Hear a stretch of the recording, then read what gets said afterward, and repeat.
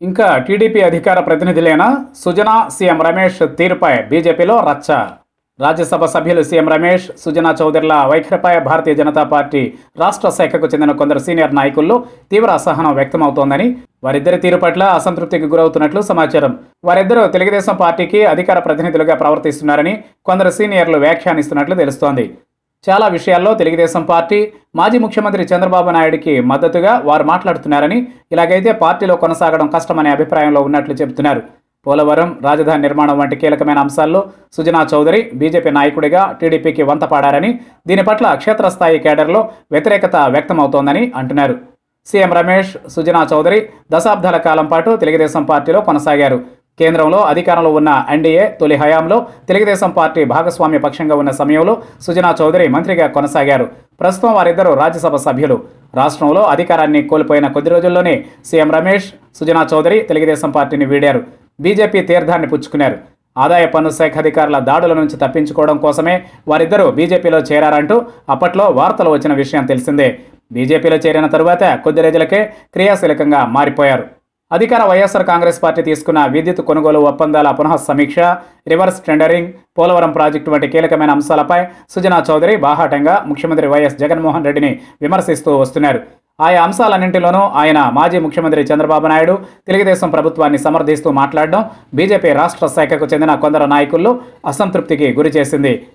రాజధాని అమరావతిని తరలిస్తారంటూ వస్తున్న వార్తలపై కూడా సుజనా చౌదరి స్పందించడం బీజేపీ నాయకత్వాన్ని మరింత ఇరకాటంలోకి నెట్టేసినట్లయింది. అమరావతి తరలింపుపై బీజేపీ వైఖరి విధానాలు ఇంకా ఖరారు కానప్పటికీ సుజనా చౌదరి బాహాటంగా విమర్శించడం ఆత్మరక్షణలో పడేసిందని అంటున్నారు. తాజాగా అమెరికాలోని డల్లాస్ సభలో ముఖ్యమంత్రి వైఎస్ జగన్ జ్యోతి ప్రజలను చేయడానికి నిరాకరించారనే విషయాన్ని అడ్డుగా పెట్టుకుని ఆయనపై హిందూ వ్యతిరేకి ముద్ర వేయాలంటూ బీజేపీ చేసిన ప్రయత్నాలు బెడిసి కొట్టాయని అంటున్నారు.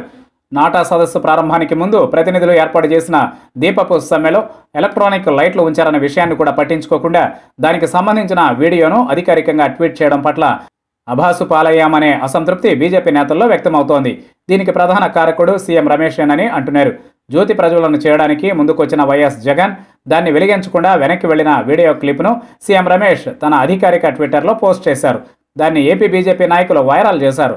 అసలు విషయం తెలుసుకోకుండా ఆ వీడియోను వైరల్ చేయడం వల్ల పార్టీకి లాభం కంటే నష్టమే ఎక్కువగా జరిగిందని అంటున్నారు సీనియర్లు.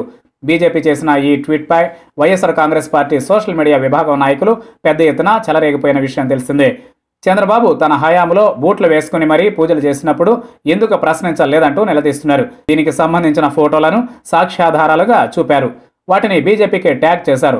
సీఎం రమేష్ చేసిన పని కాస్త బెడిసికొట్టడంతో దానికి పార్టీ రాష్ట్ర నాయకత్వం సమాధానం ఇచ్చుకోవాల్సి వస్తోందని సీనియర్లు వాపోతున్నారు. క్షేత్రస్థాయి కేడర్లో అసంతృప్తి వ్యక్తమవుతోందని చెబుతున్నారు. వారిని నియంత్రించాలంటూ పార్టీ రాష్ట్ర శాఖ అధ్యక్షుడు కన్నా లక్ష్మీనారాయణపై ఒత్తిడి తెచ్చినప్పటికీ ఆయన పెద్దగా దృష్టి పెట్టలేదని తెలుస్తోంది.